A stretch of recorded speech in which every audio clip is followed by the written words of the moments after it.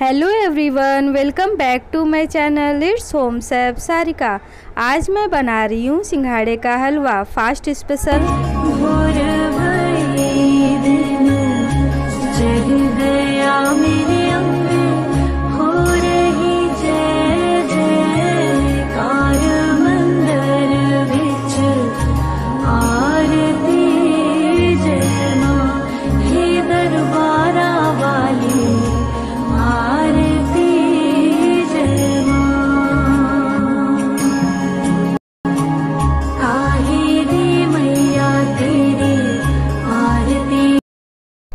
देखिए इस हलवे का भोग मैं माता रानी को लगा रही हूँ। इसकी रेसिपी देखने के लिए वीडियो आगे तक देखिए।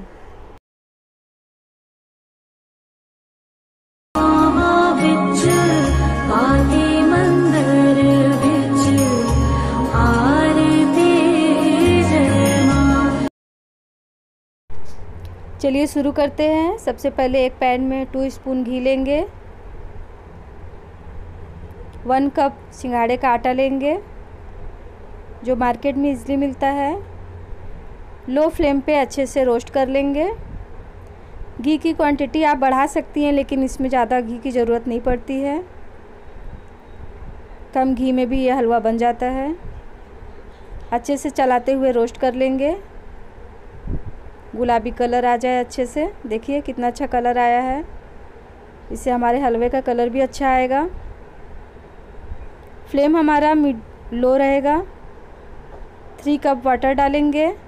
वन कप सिंघाड़े के आटे में थ्री कप वाटर ही चाहिए। इसमें पानी ज़्यादा लगता है थोड़ा। इलायची पाउडर डालेंगे हाफ़ स्पून वन कप सिंघाड़े के आटे में वन कप शुगर डालेंगे और अच्छे से चलाते हुए मिक्स करेंगे और लगातार चलाते रहेंगे, नहीं तो इसमें लम्स पड़ सकते हैं। फ्लेम हमारा एकदम लो रहेगा और लगातार इसको हम चलाते रहेंगे, छोड़ेंगे नहीं बिल्कुल। और अच्छे से ड्राई होने पे फ्लेम को बंद कर देंगे। एक थाली में घी ग्रीस करेंगे और जो हलवा हमने बनाया है, उसको हम थाली में डाल देंगे। आप ऐसे भी सर्व कर सकती हैं और थाली में जमा कर काट के कतली बना सकते हैं हम। अच्छे से फैला देंगे इक्वल भागों में। हाथों से इक्वल कर देंगे।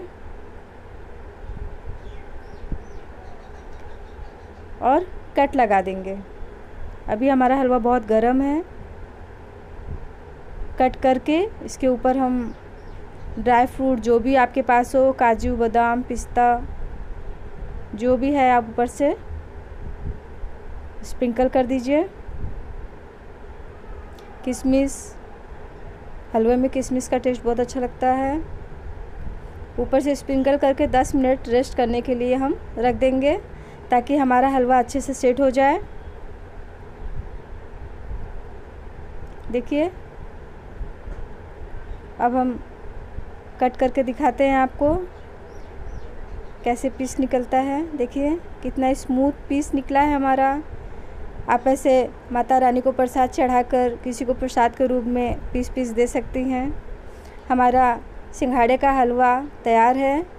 सो वीवर्स अगर आपको मेरी रेसिपी पसंद आती है तो please like share and subscribe comment करके बताइए आपको कैसा लगा. हैप्पी नवरात्रि.